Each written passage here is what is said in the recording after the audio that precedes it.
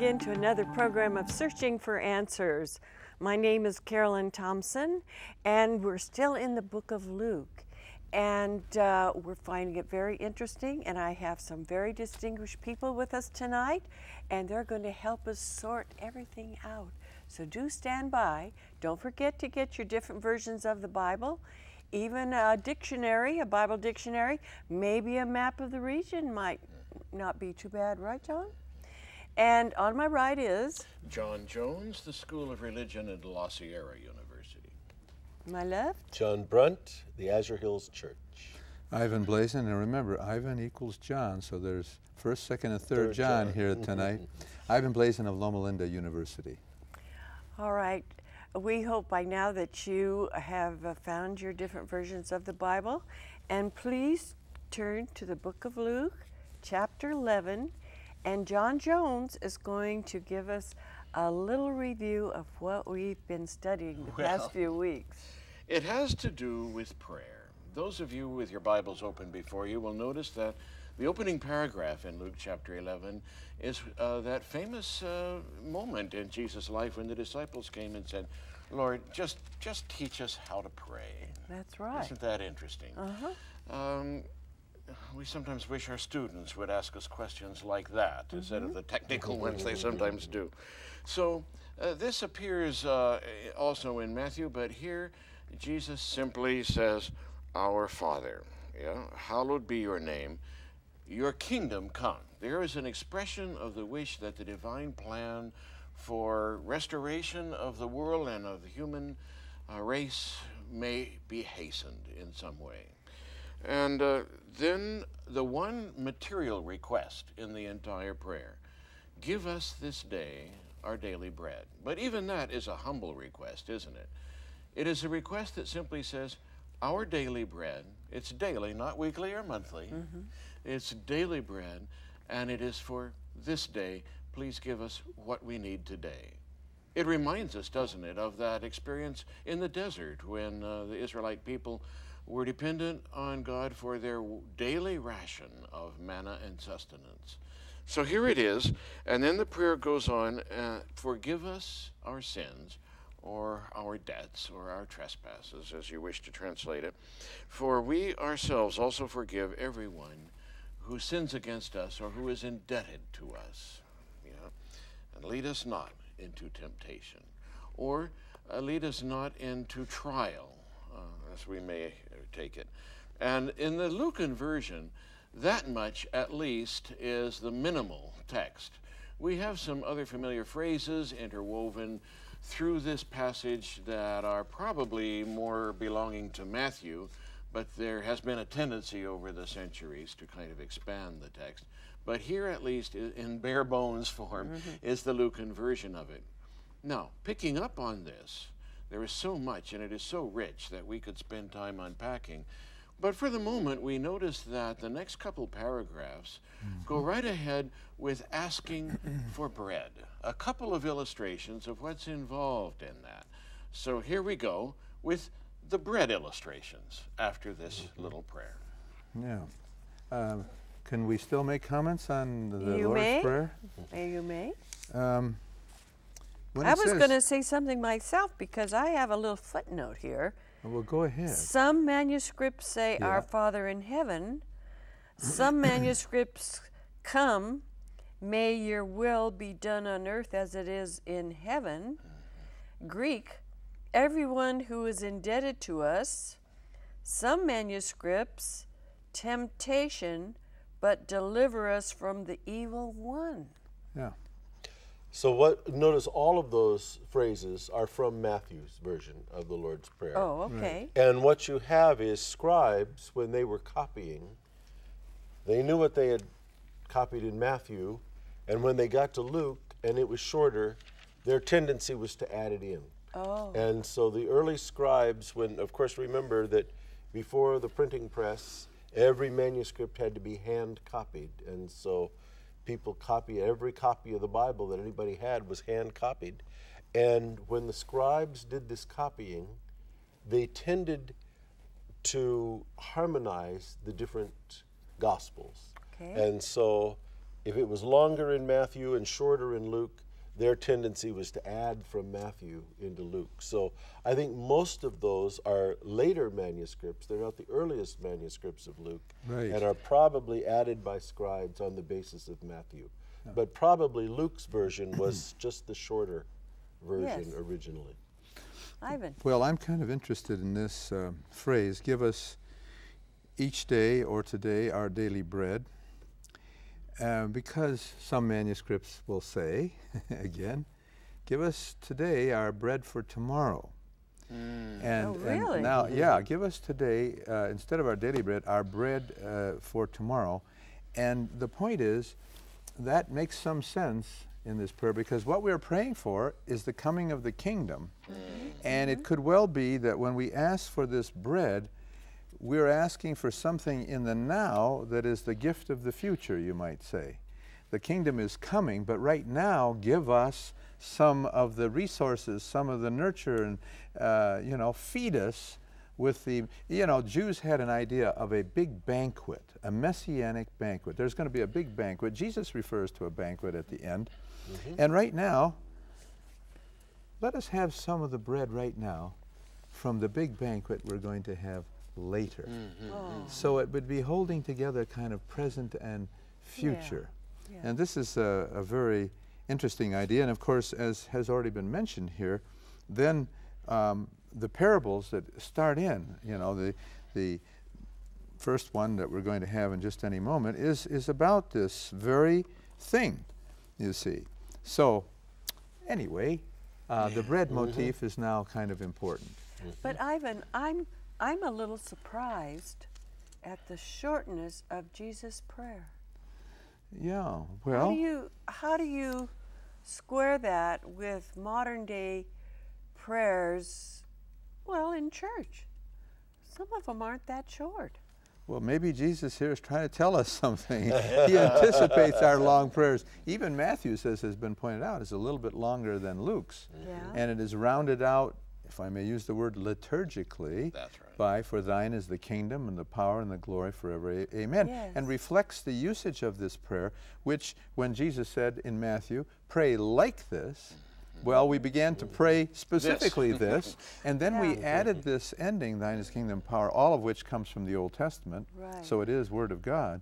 But uh, we get a litur- liturgical prayer, and, and Luke preserves for us the, the shorter version of this What prayer is liturgical? Having to do with church and the, the way the service is conducted, you know, Yes. and, and so on. yeah. Yeah, that's right. And isn't it interesting that in all of this, uh, Jesus is terse because, first of all, I think he's a good teacher. And in that oral tradition, where people didn't really write stuff down at the time, there probably was no one, not even Matthew necessarily, getting it all down. Good teachers knew how to put pithy things in the minds of their disciples. That's right. Furthermore, also in Matthew, uh, there is that strong warning, isn't there, mm-hmm. against multiplying words in your prayers. That's right. Don't get don't get wordy. Don't get repetitious. Say it. Mm-hmm. Say it. Just mm-hmm. say it. You know. Well, maybe God is trying to say, now don't speak at length, I know, but I get tired of these long prayers. I really suggest a shorter prayer here Yeah. for my ears. Yes. Isn't that implied in the Sermon on the Mount where Jesus says, Your heavenly Father knows that you need Yeah. food, He knows that you need clothing. Yeah, isn't that kind of a hint there about uh, laboring the matter? And yet we can buy books today, popular books in the bookstore. If you pray this prayer a couple dozen times a day, uh, I'll go ahead and say it. The prayer of Jabez, for example. Y- Yes. um, You know, just pray this little mantra over and over and over again, and then you will receive the magical blessings.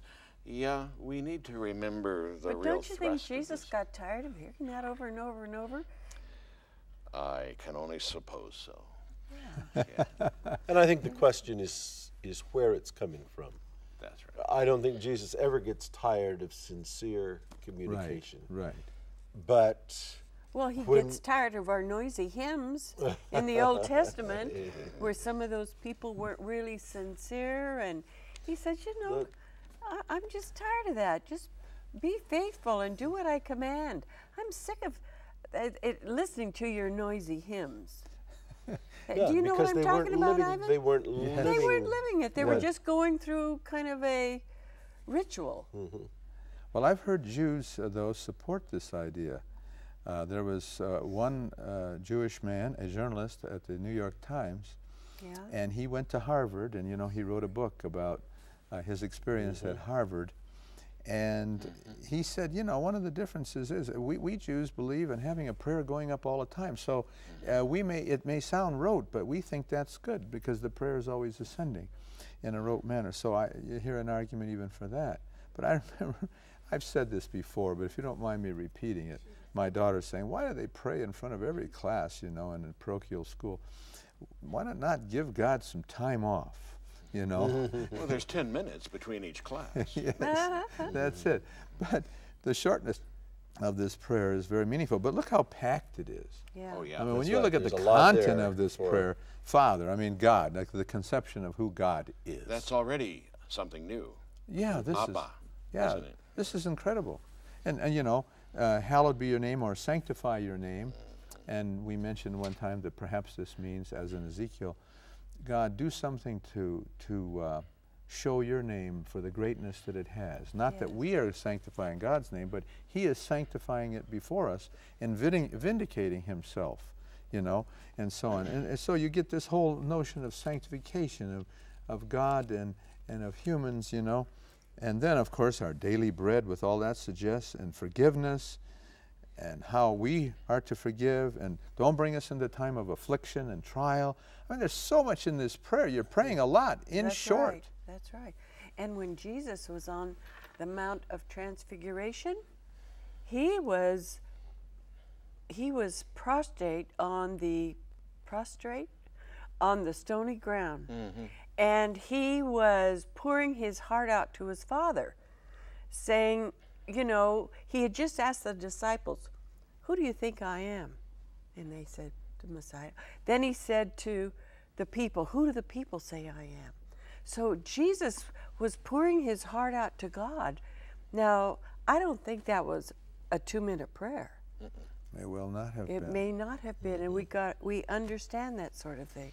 You know, there are traditions within the Christian heritage that I think capitalize on this kind of prayer in all of its kind of pregnancy, its fullness and potential for meaning. Mm-hmm. They're called bidding prayers. You don't have to multiply words, but there is value in that format of saying something like, May your kingdom come Yeah.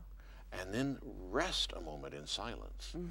Give people a chance to reflect on what that means. That's very good. May your will be done on earth as it is in uh-huh. heaven. Silence. We need to pray that way. It's a tradition that is strong in the pacifist and quietist traditions of, uh, of the Quakers, for example, Church of the Brethren. They do that. We could learn something, couldn't we? I think we could. And I think there's something at the, that last phrase. This is very interesting, that last phrase. Do not bring us, as, a, as my particular version says, to the time of trial. Yeah. Yeah. Not temptation like uh, to sin or something, but Lord, it looks pretty bad. Can we be spared the troubles? And, and in this world right now, with all the violence, that sounds good to me to pray that. And of course, Matthew adds, but deliver us from evil. So maybe if we have to face it, then at least don't let us get uh, lose our faith and go over to the side of evil or the side of the evil one Yeah. Mm. and so on.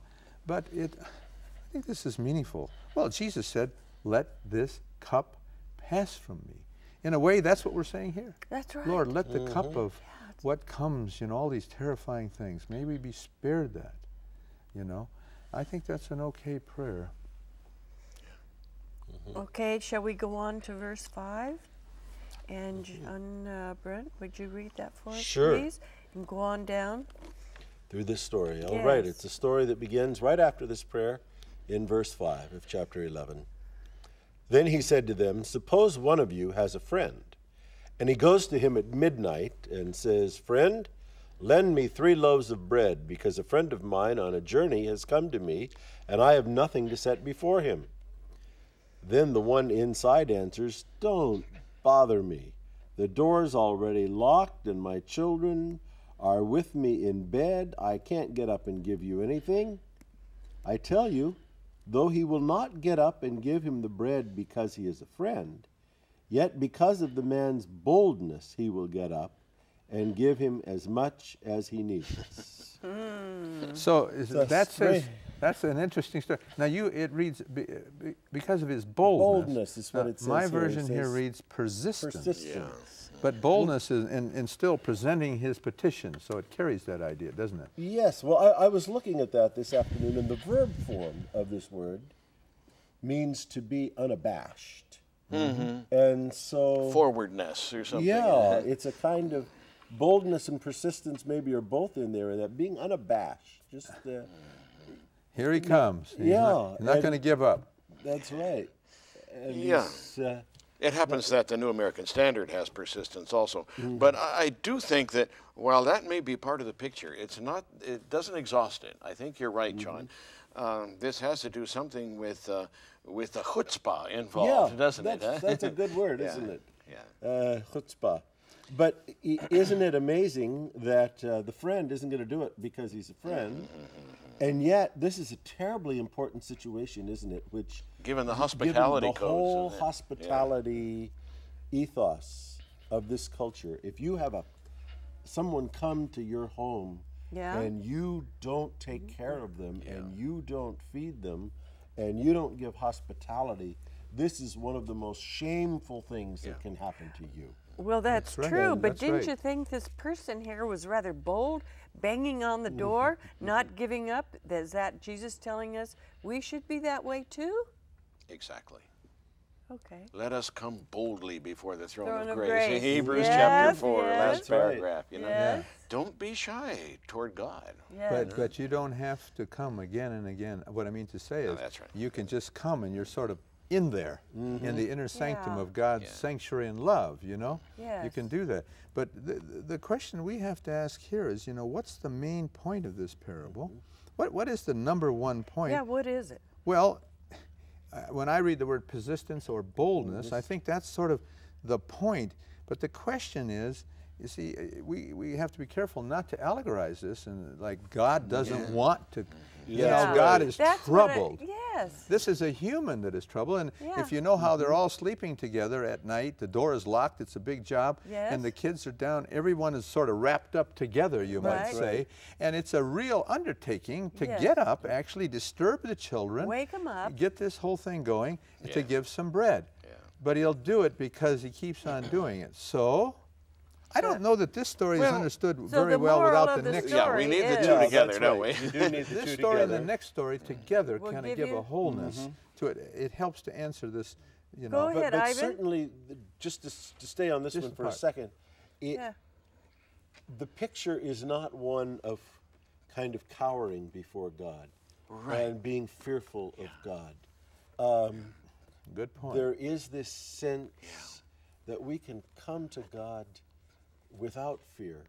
I mean, certainly humbly, but openly. And as you said in Hebrews, mm-hmm. come boldly. Well, and isn't it another emphasis? And there will be an answer. I mean, there will be. This story mm-hmm. has an answer. Yeah. A need will be met. See? So, you I- know. I, I think that's mm-hmm. right. I, I think the point is exactly as we've said it. You know, we. Nonetheless, now we need to temper it with the next story, lest we turn out to simply be reading this as a, a recipe for, um, forgive me, the prayer warriors who are, see themselves as storming the gates of heaven and only getting God's answers to their prayers, precisely because of their kind of holy persistence, as if this had something to do with their action. That I think we need to also mm-hmm. caution ourselves mm-hmm. against, don't we? yeah, absolutely. Isn't it interesting that we have these whole books on Oh, yeah. how to be prayer warriors and so forth? The formulas. And all the formulas and so forth, and how different that is Yeah. than Jesus' very simple response to their question. Well, really, don't you see, and we can say more about this one, but don't you think then a- an interpretation of the meaning of all this is given in verse 9 on. Because, like it starts out in my Bible, I don't know what the first word in the English is. Uh, Greek, uh, you may check your Greek Bible that you brought tonight. Verse 9. Yeah. Yeah, it says, So, Yeah. I tell you. There's a connecting link between the story that's coming and the story that was. And so this is kind of uh, an interpretation. So, It's I kag- say to you, Kago, and also. Yeah. yeah, and Kago. also, so, well, that's that's even makes it better. Yeah. In the same way. So ask, and it will be given. Search, you know, there's that boldness, mm-hmm. and you will find. Knock, and the door will be open. So the interpretation is one of generous giving in response to this prayer. Exactly the opposite of the friend in the first story. Exactly. So it's a contrast. It's a contrast. comparison in this case. That, exactly. And at the end of this particular new story, mm-hmm. we're get, that contrast will be furthered as we get there to that because then we'll understand that there's a difference between God and this friend who finds it hard and difficult, you mm-hmm. know, to get up out of bed. Although we do understand its circumstances. I mean, this is We do, You yeah. get all those kids to sleep. I'll never forget the playing Christmas carols in the city of Detroit in front of these mansions. And Edsel Ford, I think I said this sometime or other in the past, but Edsel Ford came running out. I had a brass quartet I had formed. and he came running out of his house. He said, Don't play. Don't play. I mean, we sound good. Mm-hmm. You know, what do you mean, don't play? He said, we, It's been taking us all night to get our child, our daughter, to sleep. So don't play. Well, it's sort of like this story. I mean, I've got all these kids, these many kids, and we're all locked together and, and they're right. asleep in blankets or whatever they use. And so, please, this is too much, but he does it anyhow. He's got to do it. Is a negative comparison in the first parable. There's a the second one. We don't see any objection on God's part. God is not grudging. Mm-hmm. He doesn't have to be won over. Rather, the comparison is with us. If you know how to give good gifts to your children, hey, just make the parallel. That's right. And you know what? The order of these stories is significant. Now, we recognize that what verse 9 says ask and it'll be given, search and knock and so on, that we have that, we know it more familiarly. Familiarly. Did I get that all I think together? so. In the Sermon on the Mount. Mm-hmm. A different kind of context in Matthew than here. And this is just the right w- ordered because we're kind of I think you expressed a little you know why this isn't this isn't this something the way this friend is portrayed but now we get Luke's Yeah. bringing this together right here to give us an interpretation of the first story mm-hmm. That's Yeah, right. I think know? Luke is stringing these together deliberately. for yes this. Mm-hmm. he knows what he's doing He does. we're learning something here yeah Shall we continue on? yeah Sure. John Brunt? Okay.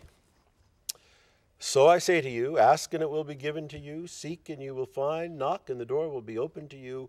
For everyone who asks receives, he who seeks finds, and to him who knocks the door will be open. Which of you fathers, if your son asks if, asks for a fish, will give him a snake instead? Or if he asks for an egg, will give him a scorpion? If you then, though you are evil, I think that's an interesting uh, that's phrase, isn't it? If you then, though you are evil, know how to give good gifts to your children, how much more will your Father in heaven give the Holy Spirit to those who ask him? no. Matthew has something different doesn't he yes, give good things. Things. Good Get things. good things. But Luke, who's so invested in the Spirit, he, he puts the Spirit. That's the that's the chief end. That's what that's the biggest thing you could get.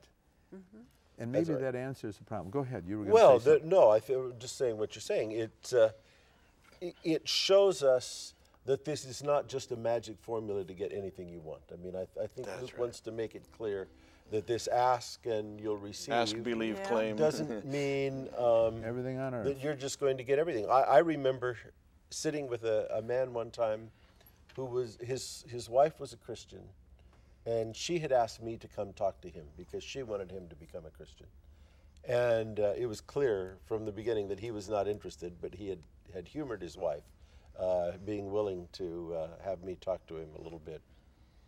But he ended the conversation by saying, um, "Listen." It says, Ask and you'll receive. If prayer really works, then I want to see it work. Um, if you can go out and stand on my porch right now and pray that a new Cadillac will appear in my driveway, Oh, I'll believe. But if you can't, then my. don't talk to me anymore. Oh my. Well, Luke wants to make it clear that when Jesus is talking about prayer and asking and receiving, that is not what he's talking about. That's right.